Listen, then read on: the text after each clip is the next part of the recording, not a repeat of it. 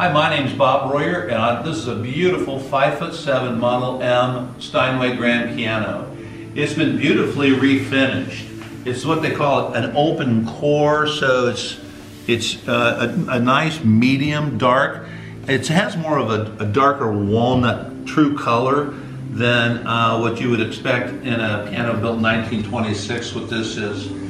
And before I start, I'll just tell you, I'm so picky on Steinway Grands. There's just so many of them that were either rebuilt improperly, they don't sound well, the, the, the soundboard has a crown, every foot is an eighth of an inch arc called a crown. A lot of them have lost the crown, a lot of them just have their guts played out of. So I really, really, um, I'm kind of burned out on Steinway Grands. They're either too much money or they're not good enough. So once in a while I find something that I actually fall in love with. We service, I have five of the finest piano technicians in a 100 mile radius.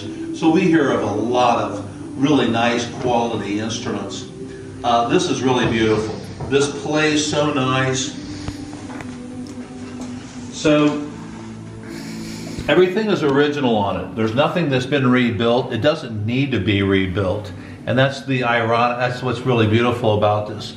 A lot of the, if this was at a Steinway dealer, and I know a lot of them, 25 of them, they would price this at $25,000. Um, but it's really nice. I mean, the cabinet, the action, the response, which you'll hear in a minute with Greg, the sustaining qualities of the piano is still there, you know, there is still that arc of the soundboard uh, called the crown and the down-bearing pressure. But it's just, it's just a beautiful playing piano. And it was not played real hard. This was used in a home, according to the family, was used in the home originally. In, uh, in other words, it was only used in a home. This absolutely is beautiful. We can deliver anywhere in the United States. We give you a five-year warranty, which is the same as the Steinway warranty from the factory. Steinway only guarantees for pianos for five years. We offer that with this. It's all structurally sound, holds tuned to A440. It plays really nice. Here's Greg.